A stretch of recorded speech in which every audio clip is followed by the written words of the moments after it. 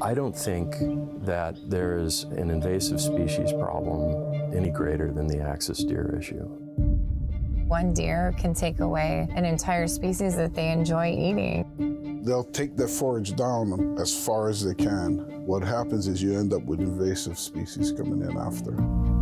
The reefs of South Maui have been formally designated as impaired because of runoff. It's our responsibility to manage them to restore balance.